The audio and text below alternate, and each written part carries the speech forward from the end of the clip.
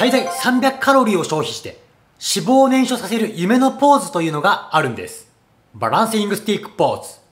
このポーズを実際私はやってみたんですけども、まあなかなか難しいポーズでした。ですが、見てる方はもしかしたらできるかもしれません。できた際にはですね、カロリー消費ができますので、ぜひ最後までご覧ください。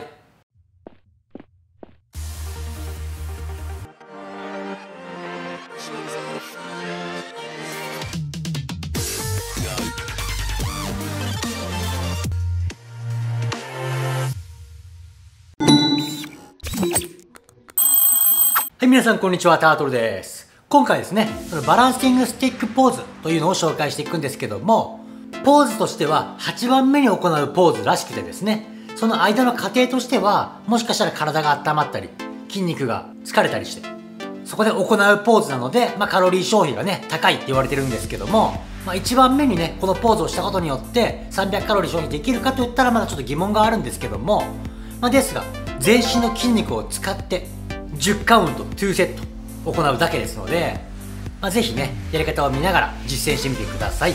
ポーズとしてはこんな感じなんですけどもなかなか難しかったです。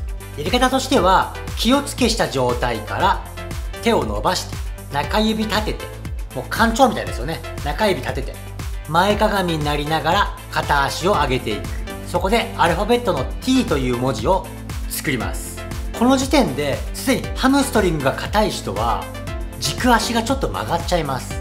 なので足自体はストレッチができる感じです。そして肩背中腰お尻ハムストリング。というのを T を作っている文字で鍛えていきます。コツとしては肘と膝をしっかりロックします。お腹をへこまして伸ばしている両腕で耳を挟む頭を固定する。そうやってアルファベットの T を作ります。この状態で10秒キープです。これを左右行います。計それを2セットですので実質40秒といったエクササイズになります。めちゃめちゃこれで300カロリーとかいったら最高ですよね。まあ実際300カロリーはいかないと思いますけどもやって損はないかなって感じはします。このバランスティックポーズ行う効果としては体調不良が改善されると言われてます。はい心臓不眠うつ五十肩足の強化静脈瘤集中力アップなど確かに一番実感できるのは集中力アップですよね。やったらわかると思いますけどもめちゃめちゃバランスがいります。後ほど行います。ダイエット効果としてはバストアップ背中猫背なで肩骨盤矯正膝足首ウエスト全身のバランスが取れるなどバランスを取ることによって様々な筋肉が鍛えられます。それでは一緒に実践していきましょう。はいそれでは一緒にやっていきましょう。気をつけした状態から中指を立てて肘を伸ばす。耳を押さえる。徐々に体を倒していって10秒キープ。123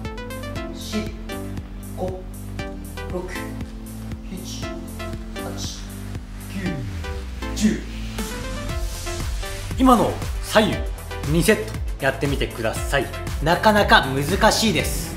っていうか体が T になってるかもわからない。ですが結構バランスがいるというのとハムストリングがストレッチされる。そして持ち上げてる体肩背中腰お尻太ももの裏が鍛えられてる感じがします。毎日40秒間やることで体幹も身につきますし集中力が何よりもアップします。是非やってみてください。バランスティックポーズでした。バランシングスティックポーズでしたご視聴ありがとうございました。